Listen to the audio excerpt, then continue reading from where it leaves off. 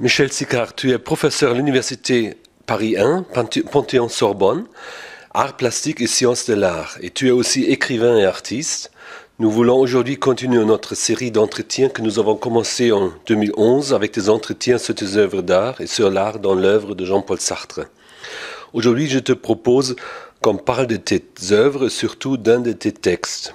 Tu accompagnes des recherches théoriques et poétiques par les tableaux, des photos, des livres d'artistes et des objets. Tu as commencé vers 1975 avec des écrivures.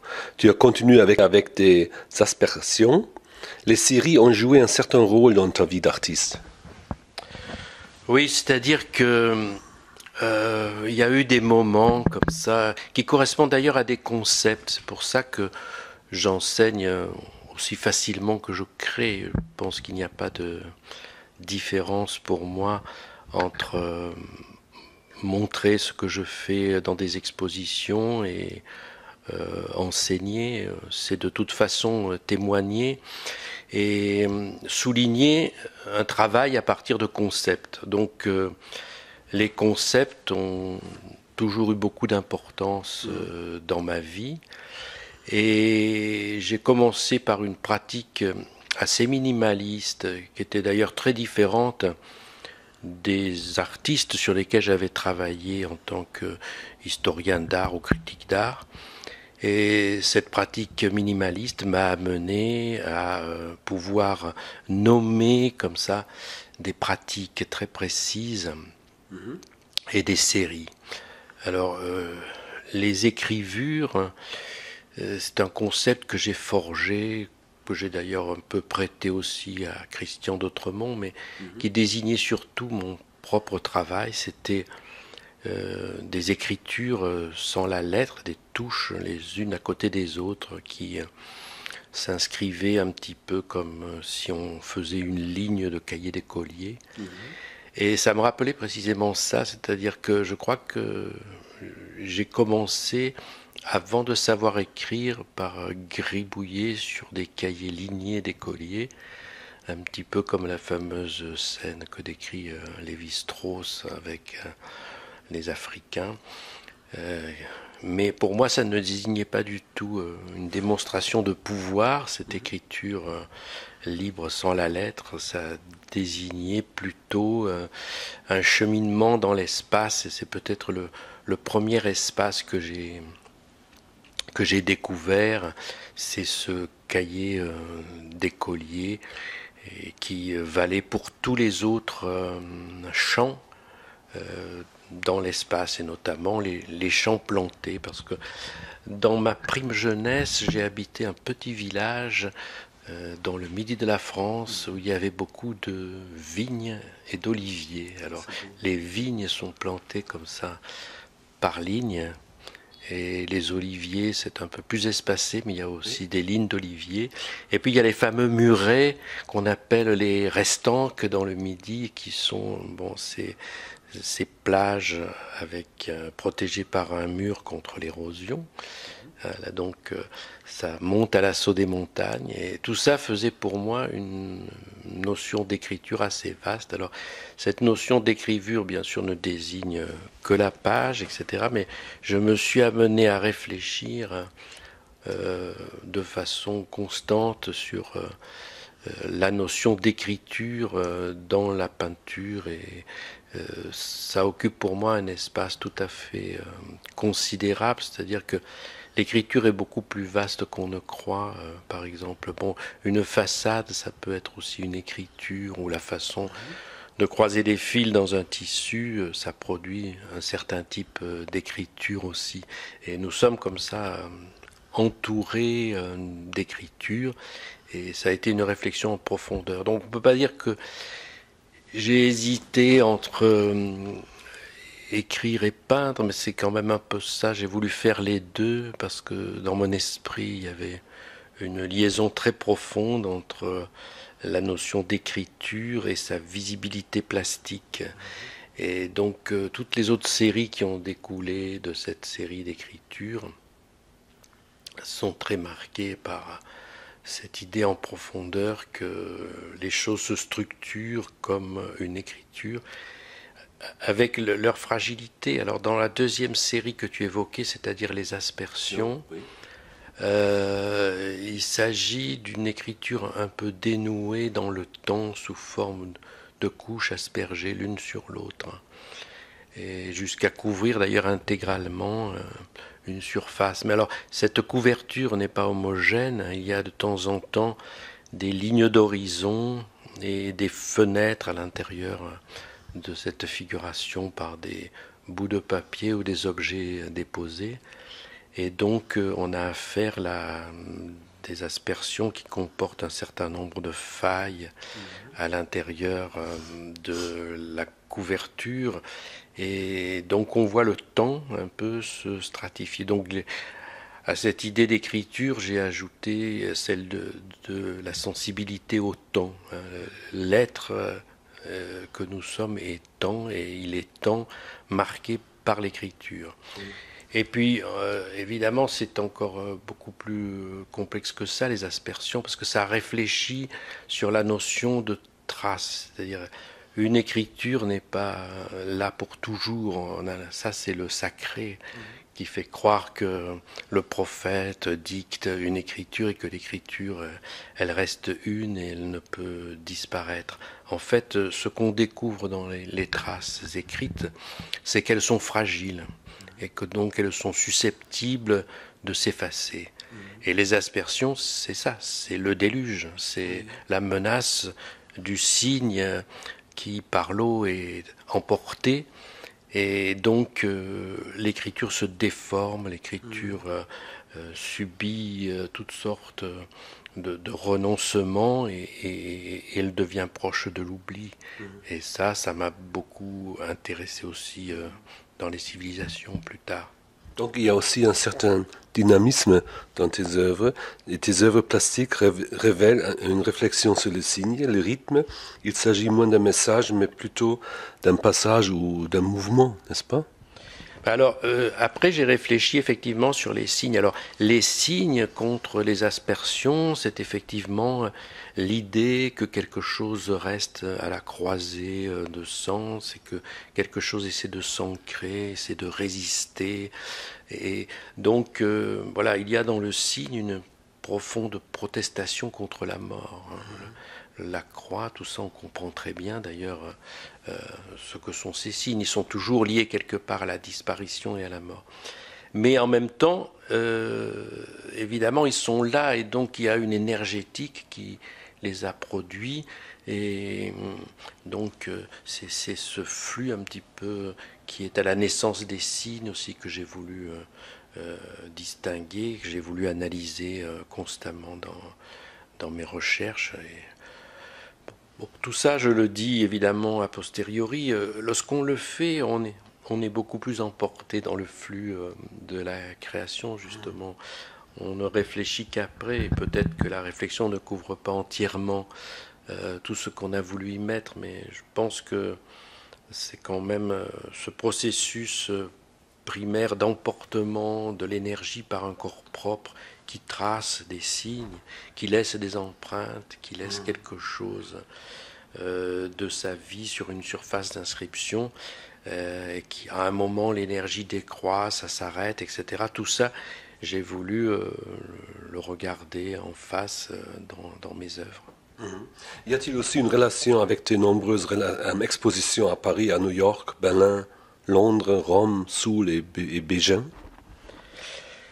alors, euh, évidemment, je me suis intéressé aussi, euh, non pas seulement à l'espace du tableau, de la toile, de, la page, du papier, mais je me suis intéressé à, à l'espace des villes. Voilà. J'ai dit quelque part que les villes sont des livres, c'est-à-dire que euh, les livres sont des espaces de signes aussi qui se sont euh, stratifiés euh, et qui font nœud beaucoup plus que dans la campagne. Au fond, dans la campagne, c'est ma première vision d'enfance là dont je parlais. Ce sont des signes un petit peu dénoués, un peu en écharpe comme ça. Et dans les villes, les signes sont au contraire profondément noués, encryptés. Ils forment des réseaux et des labyrinthes extrêmement serrés. Et alors j'ai voulu voir de près comment euh, dans ces villes les choses se nouent. C'est pour ça que j'ai travaillé. Euh, non seulement j'ai exposé dans des grandes villes, hein, ce qui me passionne c'est d'exposer dans les capitales, mais j'ai euh, travaillé sur des grandes villes et notamment par exemple sur Berlin, qui a été une ville qui a été construite, détruite, reconstruite. Donc il y a une espèce d'idée d'effacement constant dans la ville et de palimpseste, mhm. euh, au sens d'effacement d'un manuscrit et puis de réécriture d'autres choses.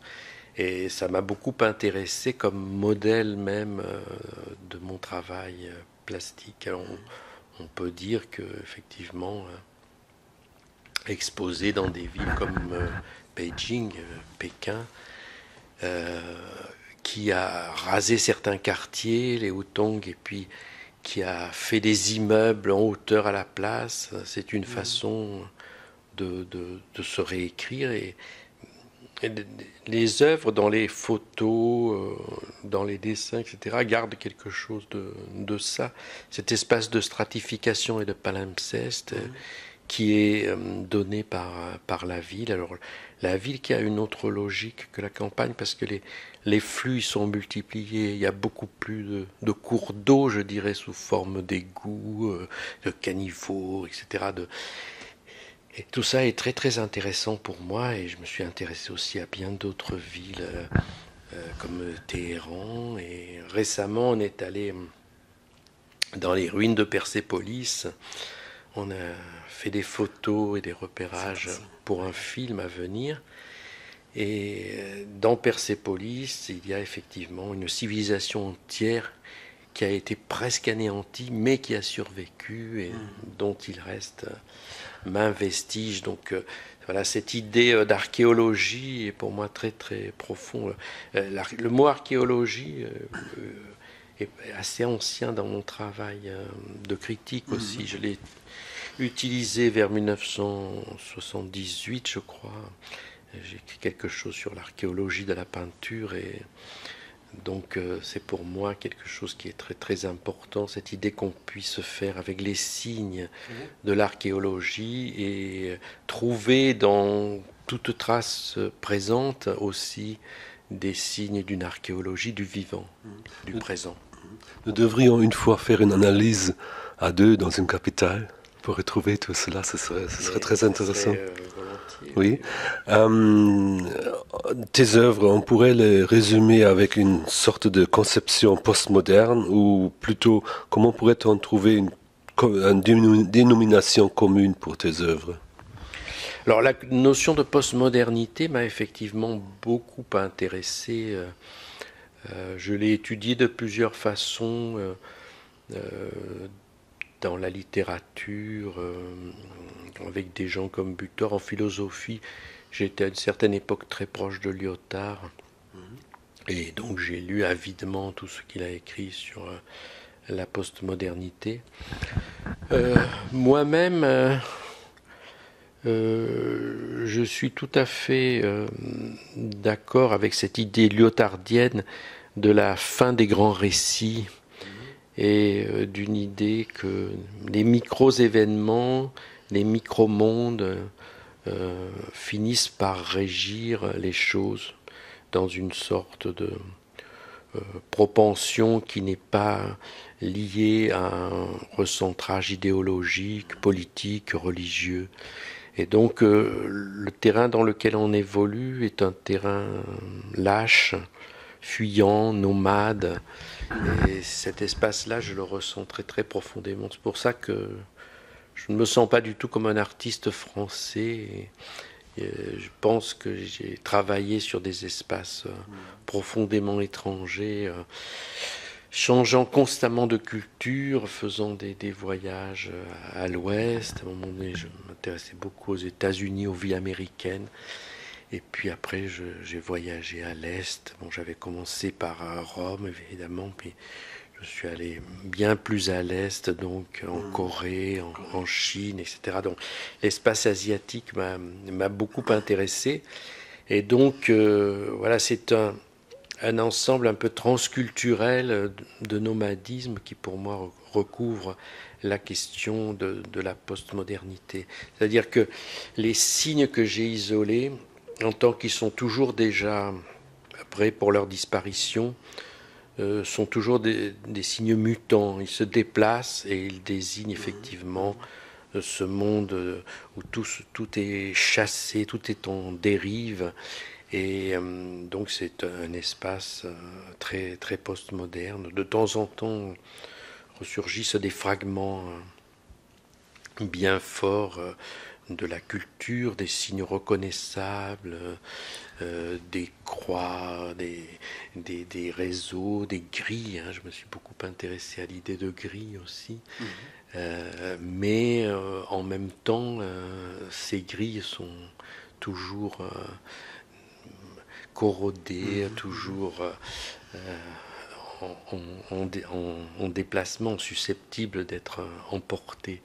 Et ça, c'est évidemment pour moi un espace postmoderne euh, en train de se vivre, de se, de, se, de se défaire, parce que la postmodernité, c'est ça, c'est l'idée que l'espace moderne se défait, que nous sommes après la modernité, que nous sommes dans une déconstruction.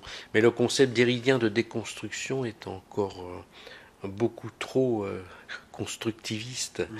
hein, dans les matériaux que j'ai employés, notamment ces vocabulaires de tâches, de flux, d'écoulement.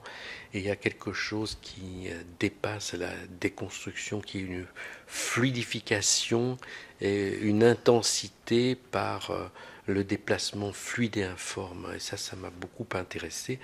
Et ça m'a permis de me retrouver avec euh, Mojgan Mosley, avec qui j'ai fait depuis 2011 un couple d'artistes et nous travaillons comme ça sur des matières qui sont très très souvent liquides, fluides. Donc il y a une espèce de remuement de l'image en la transformant en un vortex, quelque chose qui est, qui est de l'ordre du tourbillon et du chaos et on laisse rien du tout de la, de la théorie de la représentation.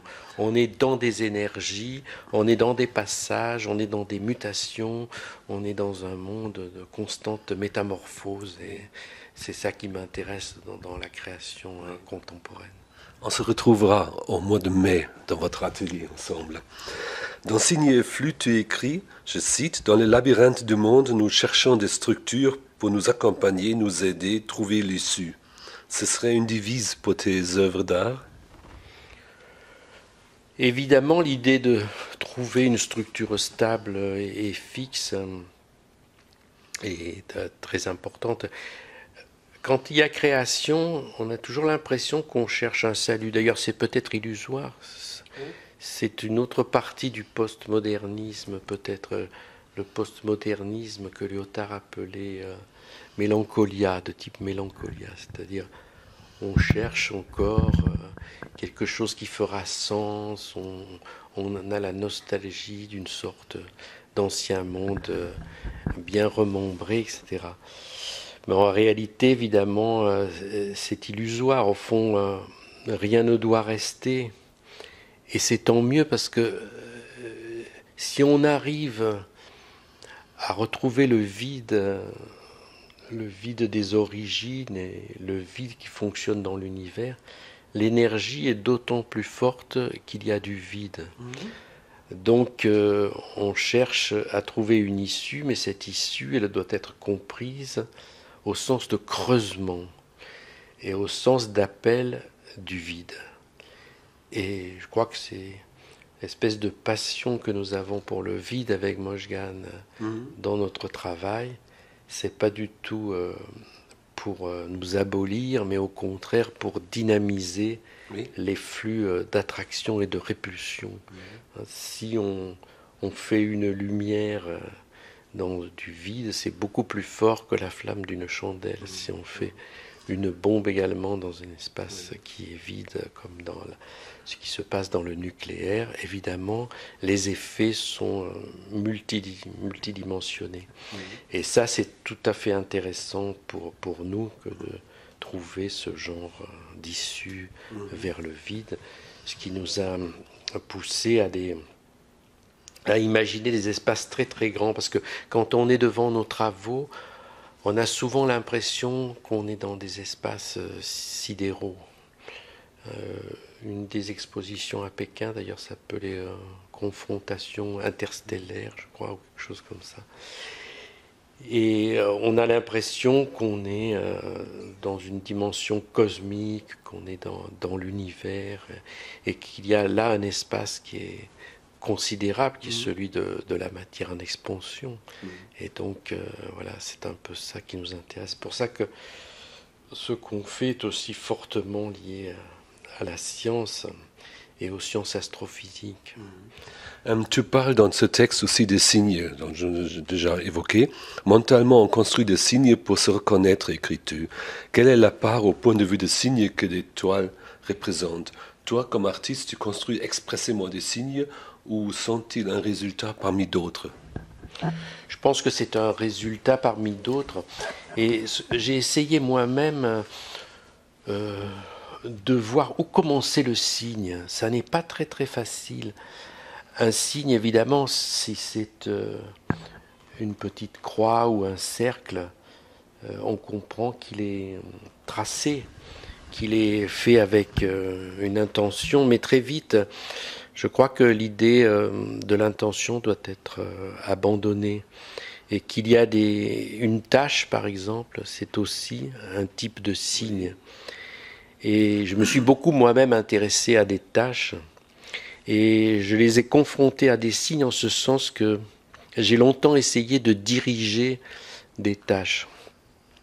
C'est-à-dire que je savais exactement en impactant mon pinceau de telle façon que j'allais avoir des éclaboussures qui avaient toujours le même sens.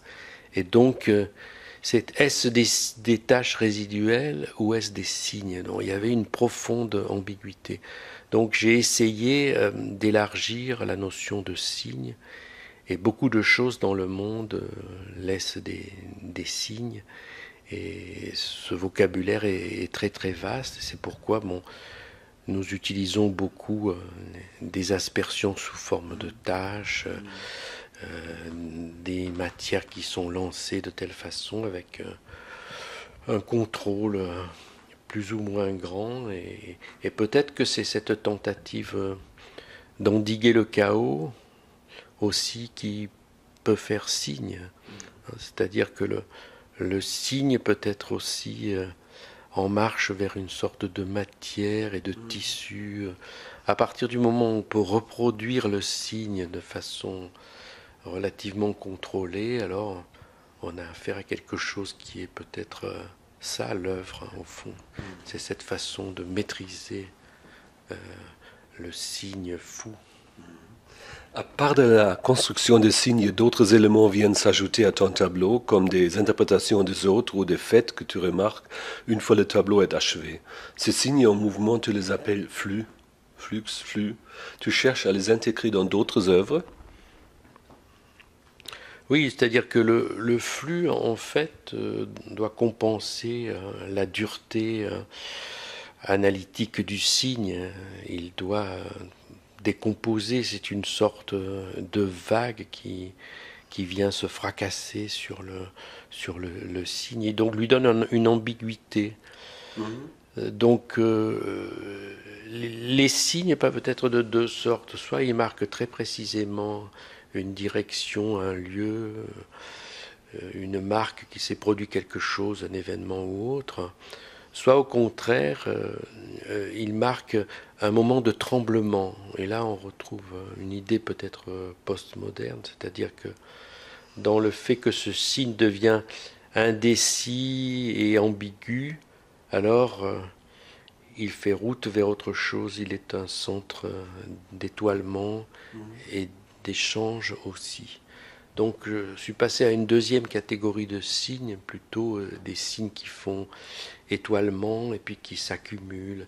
Et j'ai regardé ça aussi dans des structures naturelles. La, nature a eu beaucoup d'importance euh, pour moi. C'est-à-dire que je suis parti plutôt d'une recherche conceptuelle Et de plus en plus, euh, je l'ai intégré à une logique du vivant, par exemple. À un moment donné, j'ai travaillé à, faire des signes à partir de feuilles euh, que je trempais dans de l'encre de Chine ou de l'acrylique et que je cognais sur euh, des surfaces de papier ou de toile. Et on avait des structures qui sont tout à fait régulières et tout à fait maîtrisées et qui sont en même temps des empreintes de quelque chose de, naturel, parce que les feuilles se reproduisent comme ça par prolifération. Et ça m'intéressait énormément de voir que j'étais pas le seul à produire des signes, qu'un arbre produit euh, des signes, euh, feuilles ou fruits, qui sont pareils, pas pareils, et qui peuvent aussi se reproduire et entrer dans une espèce de, cycle de la vie. Donc on est aussi, euh, au moment où il y a prolifération, on est dans un, autre type de flux qui n'est pas le flux de la passivité de la matière, mais qui est le flux euh, vital de l'engendrement et du réengendrement et de l'auto-engendrement de la forme par elle-même, mais avec toujours une infime variation. Et c'est ce mouvement tremblant de la variation des signes qui m'intéresse et qui fait un concert très bruiteux. Mhm. Parce qu'il ne faut pas oublier que dans tout ce qu'on fait, le bruit joue une importance considérable. Le bruit et le silence, c'est-à-dire que la façon dont euh, j'approche le papier, par exemple, en marquant ses écrivures, fait aussi dans tes livres d'artistes aussi, n'est-ce pas Dans les livres d'artistes. Mhm. Et il y a des structures très précises, par exemple, lorsque je fais une écriture de gauche à droite et que je tape euh, huit touches, puis huit touches, puis huit touches, je les entends à l'oreille. Cela fait une sorte euh, d'approche. C'est comme un tintement euh, ou une cloche qui se répète dans un temple zen. Il y a quelque chose comme ça de l'écho. Et l'écho lui-même fait signe vers une source originelle mais en même temps, euh, la source originelle est en quelque sorte enfouie et, disparaît. Donc il y a cette espèce de tintement sans fond qui est euh, euh, ce qu'étudie d'ailleurs l'espace même du zen. Euh, tu écris beaucoup sur Jean-Paul Sartre. Vous étiez des amis entre 1972 et jusqu'à sa mort en 1980. Et tu écris aussi sur tes œuvres, comme ce texte dont nous parlons hein, sur Signé et Flux. Quel est le rapport pour toi entre l'image et le texte? Alors bon, Sartre, c'est une aventure un petit peu à part. Donc euh, j'ai écrit un premier texte sur sa critique euh, littéraire. J'étais à ce moment-là passionné de linguistique, donc j'ai appliqué des méthodes structurales pour euh, décrypter tout ce qu'il pouvait y avoir de mythe euh, chez, chez Sartre. C'est peut-être euh, une étude qui est passée un peu inaperçue et que j'ai essayé de reprendre ensuite dans une thèse, mais que je n'ai pas terminée à cause de la mort de Roland Barthes une thèse d'analyse sémiologique euh, sur sa critique littéraire, notamment sur l'idiot de la famille. Et j'avais vu que les, choses chez Sartre allaient par, euh, par série. Et donc, euh, j'ai un peu retrouvé la même idée qui était mon intuition en peinture, c'est que chez lui, tout n'était pas de l'ordre du rationnel et du concept philosophique, mais qu'il y avait des structures euh, narratives postmodernes où euh, il étudiait les choses par euh, qu'est-ce que c'était qu'une famille, qu'est-ce que c'était que des amis, par exemple, des amitiés littéraires autour de Flaubert, qu'est-ce que c'était que la structure des péchés, parce que Flaubert bon, est plein de rancœur, d'orgueil, etc.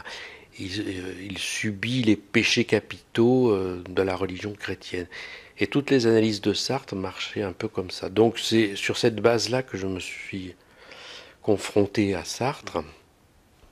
Et ensuite, euh, j'ai vu un peu la même chose pour sa critique d'art, c'est-à-dire que les œuvres étaient analysées par des questions sérielles, enfin, donc il y avait quelque chose de tout à fait passionnant dans ce qu'il a pu nous dire sur Giacometti et le vide, sur Vols et le zen, et sur la série dans le Tintoret. Donc, voilà, donc ça m'a intéressé de le lire à ma lumière, mais je pense que ça en même temps apporté beaucoup à Sartre, parce que je crois que modestement, ça a quand même renouvelé les études sartriennes. On faisait de Sartre un classique, un écrivain classique, et j'ai pu montrer qu'il y avait chez lui d'autres structures d'écriture où il était beaucoup plus proche euh, du nouveau roman et de l'écriture moderne qu'il n'était euh, de la façon de triturer le style par les classiques. Et donc, euh, voilà, j'ai apporté euh, cet éclairage-là qui peut faire partie effectivement aussi de, mon œuvre plastico-littéraire. Je pense qu'il n'y a pas vraiment de coupure. Cela dit, le champ des études sartriennes est un champ totalement à part.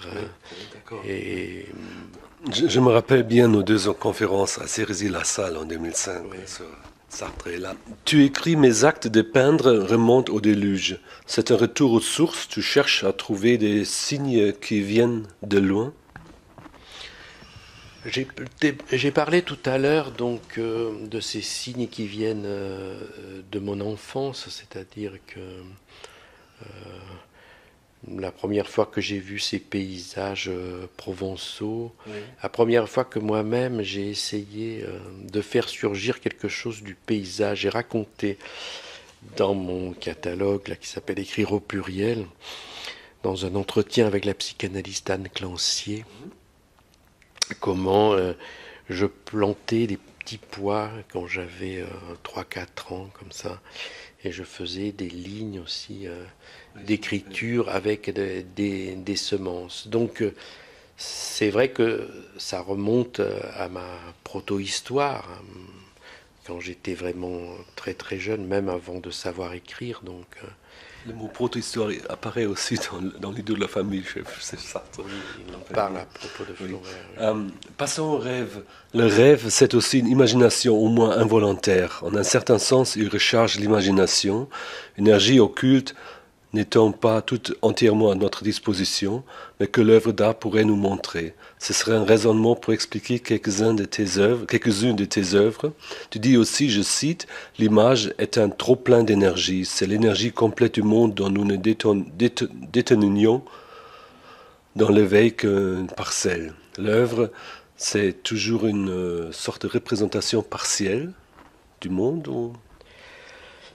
alors là, ça demanderait énormément de développement sur la question de l'image, parce que hum, il y a plusieurs façons de concevoir l'image. Il y a l'image euh, iconique, c'est-à-dire l'image qui fait signe, et hum, dont reste tributaire d'ailleurs le, premier Sartre dans l'imaginaire. Il imagine que hum, l'image comporte un certain nombre d'éléments structurels euh, issus en grande partie de la Gestalt théorie. Mhm. Et qu'à partir de ces signes, euh, par un tour de magie, par une illusion, on se met à croire quelque chose, la présence de quelqu'un. Il y a une espèce de théorie de l'incarnation. Il fait référence d'ailleurs à l'animisme africain à cet endroit-là. Et donc euh, la présence d'un tel échoua dans l'image. Alors ça, c'est une théorie illusionniste de, l'image. Et je me suis rendu compte que évidemment il fallait rematérialiser l'image et que l'image était euh, toujours dépendante d'un support matériel qui était plus ou moins amplifié. Et c'est ça qui, fait autant de présence dans l'image.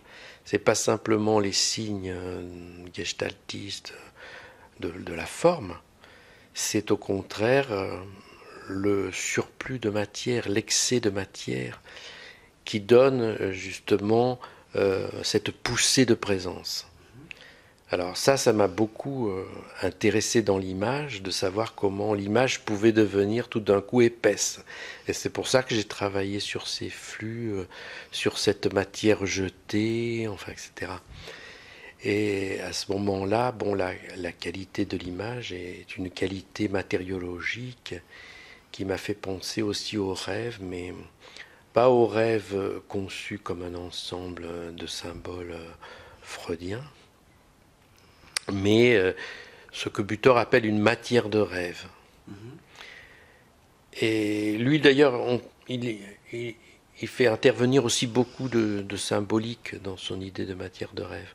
Mais moi, j'ai voulu accentuer l'aspect matière, c'est-à-dire que dans le rêve, il y a euh, une espèce de flux euh, primaire, euh, libidinal ou autre, qui se met en route et qui pousse à déplacer considérablement l'image, à déformer l'image. Mhm. Et donc, ça n'est pas du tout une question de structure uniquement et de langage. Et donc, je sors un petit peu de l'univers lacano-freudien qui euh, a tout, euh, toute la culture euh, occidentale ces 40 dernières années. Et j'essaie de voir comment il y a cette, dans le rêve cette poussée de matière aussi, et que la matière elle-même est une façon de, de, rêver. On peut plonger dans la matière, on peut s'engloutir dans l'eau, dans le feu, dans le charbon. Et j'ai écrit beaucoup là-dessus, y compris dans mes poèmes. Il y a des, les, livres d'artistes, les premiers que j'ai faits avec euh, Clausel. pas, les premiers à moi, mais que les premiers de Clausel qu'il a fait avec moi, qui sont ses premiers livres d'artistes. Il y en a un qui s'appelle Derrick, où je décris cette plongée dans une sorte de magma. Mhm qui est le, pétrole, le noir le plus charbonneux, le plus condensé. Et effectivement, lorsque on jette de l'encre sur le papier, on retrouve l'encre de la nuit, l'encre de nos rêves, et on retrouve euh, la noirceur euh, des mondes densifiés. C'est-à-dire que le noir n'est pas simplement un signe de couleur, il est aussi euh, une plongée dans un monde qui est terriblement épais. Et dans le rêve, voilà, c'est ça que je veux dire. Dans le rêve, quelque chose se produit qui est une sorte de coalescence avec une matière intraduisible qu'on ne peut pas dire autrement. Mhm. C'est pour ça que nous avons toute cette matière noire, cette dark énergie qu'on appelle dans notre série. Et nos photos aussi sont très très noires, très mhm. prises la nuit. Il y a des films aussi où on essaie de capter quelque chose dans cette nuit euh, fondamentale, alors qui parfois peut être euh, quand même relativement fluide et éclairée, mais aussi qui peut être euh, extrêmement dense et extrêmement hmm. compacte lorsqu'on plonge vers le côté charbonneux de la matière. Je voulais juste encore poser une question sur les livres d'artistes. Tu les as conçus comme une œuvre d'art à part entière dans ton œuvre? Au début, c'était des fragments de peinture. Le premier livre que j'ai fait, qui s'appelle Sillage, j'ai découpé une peinture et je l'ai plié en leporello mhm. et ensuite j'ai écrit un poème dessus. Donc pour moi, c'était très lié à la peinture et j'ai toujours essayé de retrouver cette sensation, notamment en utilisant les boîtes, c'est-à-dire euh, la, reliure hein, du, livre et euh, l'étui, ce qu'on appelle l'étui en bibliophilie. J'ai créé des papiers pour aller avec. Donc, si tu veux, la peinture était dans le livre, elle faisait le tour aussi par euh, la boîte. Donc, euh, voilà, il y a un environnement complet dans le livre. Et en second lieu, euh, ces, livres m'ont permis peut-être de sortir de l'espace pictural, parce qu'un livre, c'est toujours un volume, et quand on l'ouvre, c'est quelque chose qui est habitable, un peu comme une pièce, comme une chambre. Et alors euh, là, il se passe des événements, des fenêtres, parfois il y a des objets qui sont ajoutés. Et donc euh, voilà, je suis allé de, j'ai essayé de plus en plus de sortir de la platitude du livre vers le volume et même vers l'installation. Il y a certains de mes livres, euh, comme un qui est sur le site là, qui s'appelle Poésie de voyage, où ça tient dans une petite mallette en osier. et on est obligé de sortir le livret et d'installer les objets qui sont à l'intérieur du livre. À ce moment-là, lire un livre, ça devient une sorte de performance avec son propre corps. On est obligé de jouer avec les ingrédients qui constituent le livre et ses entours et ses référents euh, objectaux autour. Donc euh, il y a euh, une aventure tout à fait considérable qui au départ est liée à la peinture et après essaie de sortir de la peinture vers un environnement, vers un espace de performance et d'installation. Ainsi, tes livres d'artistes rappellent que le livre est une forme plus noble que le livre numérique. C'est-à-dire le livre numérique est un peu plat. Je, je travaille avec des étudiants qui pratiquent beaucoup le numérique. Nous-mêmes, on se sert euh, du numérique, évidemment. On n'a rien contre, mais curieusement, le numérique est resté assez proche du livre traditionnel. Il est euh, affreusement plat, même si on peut évidemment créer des fenêtres, appeler du texte, de l'intertexte, etc alors que le livre d'artiste, euh, c'est un espace euh, réel et on peut vraiment l'habiter. Alors que, je ne sais pas, on peut difficilement habiter le, numérique. Je sais que il y en a qui se construisent euh, des mondes, mhm. des passions numériques, mais je pense que la question de l'exister, la question du corps, en chair et en os est une question très importante et le livre d'artiste permet quand même, même si on se sert du numérique pour fabriquer des photos qu'on va mettre dedans, etc., lorsqu'il se replie et se déplie, devient un espace réel où on peut rêver et dormir, si on veut. J'ai encore quelques d'autres questions sur l'art, plutôt un peu plus général. Où est donc l'esthétique dans une œuvre d'art pour toi? À partir de quel moment une œuvre révèle sa qualité esthétique? Ah ben, C'est-à-dire quand il y a un agencement, euh, une circulation. Euh, bon, l'esthétique aujourd'hui n'est plus liée à, la question de la, de la belle forme, mm-hmm. mais au contraire, c'est une espèce de réceptacle à, une quantité d'événements qui sont euh, programmés, qui produisent un certain monde. Donc dès qu'on arrive à donner la sensation que qu'un monde se crée, qu'un espace euh, s'ouvre, qu'on révèle un, sens, qu'on suggère un concept, euh, il y a production esthétique. Et donc cette esthétique est extrêmement large du point de vue de ses canons, c'est-à-dire que on peut faire un ensemble de tâches absolument chaotiques et ça reste quand même dans le domaine de l'esthétique si on peut donner l'intuition euh, d'une certaine cohérence entre la pensée et les outils magiels proposés. Quand est-ce qu'une œuvre d'art pour toi est réussie ou parfaite? euh, Justement quand on arrive à, à cette lisibilité par le regardeur, euh, du monde et à lui suggérer une sensation qu'il n'aurait pas eue avant. Mmh, voilà. Mmh. Donc c'est euh, un peu comme euh, une programmation de choses sensibles. L'œuvre d'art joue le, rôle d'un déclencheur sensoriel de perception, de sensation, d'état de pensée ou de pulsion. Ça révèle un certain type de pulsion et d'approche. Dans ce sens, une œuvre d'art peut enseigner l'art aussi aux visiteurs, n'est-ce pas? Elle enseigne l'art, mais le monde tout court, le, vivre. Voilà. Euh, qu'est-ce que c'est que vivre? Eh bien, l'art répond, je crois, à cette question euh, fondamentale et elle donne une chair euh, à cette vie. Elle permet justement euh, d'entrer en relation euh, par un processus qui peut être mental, qui peut être aussi très charnel, de l'ordre d'une espèce de caresse.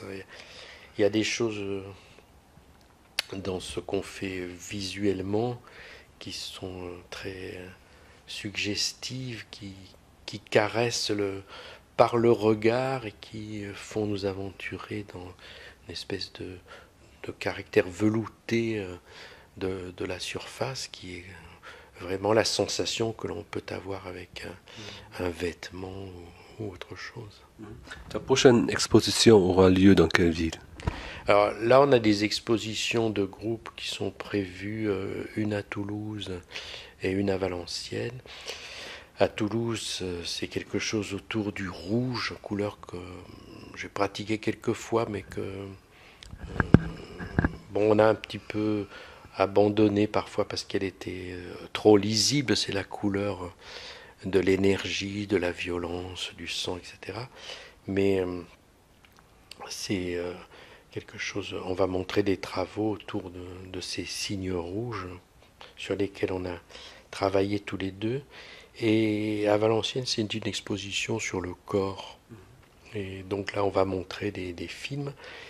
Et les expositions personnelles après sont prévues en Corée notamment. Voilà. Merci bien, Michel. Merci bien. On se retrouve bientôt dans ton atelier, dans votre atelier, volontiers, et pour faire un film sur vos deux, sur vos œuvres de vos deux. Voilà, c'est un espace euh, un peu particulier, une sorte de d'espace euh, cathédral avec beaucoup de volumes et des structures euh, palimpseste aussi. C'est très curieux. Merci beaucoup, Michel.